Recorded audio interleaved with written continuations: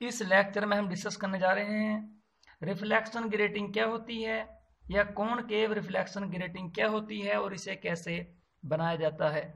तो reflection grating बनाने के लिए हम यूज़ करते हैं metal plate concave shape की। जैसा कि आप यहाँ पर देख रहे हैं, इसको बोलते हैं हम कौन केव शेप। बिल्कुल जिस तरीके से आपने देखा होगा कौन केव लेंस। तो यहाँ पर लेंस ना लेकर के मेटल की प्लेट लेते हैं कौन केव शेप की, आकृति की।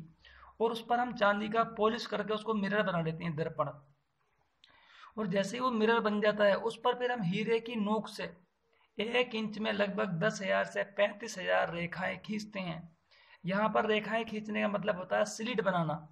जहाँ से हम रेखाएँ खींचते हैं, वहाँ पर पॉलिश बच जाता है, जिससे वो बन जाता है अवरोध, यानी कि नॉन ट्रांसपेरेंट बोल सकते हैं, या फिर नॉन रिफ्लेक्टिंग बोल सकते हैं।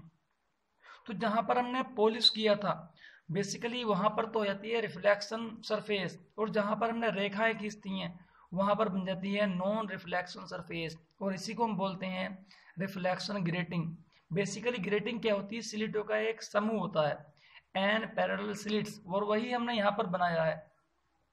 और कॉनकेव रिफ्लेक्शन इसलिए बात की है, क्योंकि कॉनकेव अगर कोई सरफेस होती है तो उसमें हमें फोकस करने के लिए लेंस की ज़रूरत नहीं होती है। कॉनकेव सरफेस खुद ही जैसे कि आप जानते हैं ये कॉनकेव सरफेस है। अगर कोई लाइट रेज इस पर कहीं पर भी आए तो एक पर्टिकुलर पॉइंट पर ही फोकस कराती है। जैसे मान लो यहाँ पर आई, ये पर्टिकुलर अगर ये रिफ्लेक्टिंग है तो वैसे ही यहाँ पर आई तो इस तरीके से। किसी एक ही पॉइंट पर फोकसन होता है। इसलिए हमने यहाँ पर कौन केप शेप ली, जिससे हमें लेंस की ज़रूरत ना पड़े, और जितनी भी लाइट रेज आए रिफ्लेक्ट होकर किसी एक पॉइंट पर ही फोकस करें।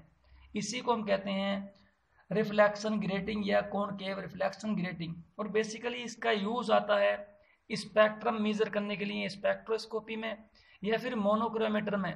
मोनोक्रोमीटर मीन्स होता है लाइट के अंदर सेवन कलर्स होते हैं, उन कलरों को अलग अलग कर देना। दैट मीन्स डिस्पर्सिव एलिमेंट की तरह हम रिफ्लेक्शन ग्रेटिंग का यूज़ करते हैं।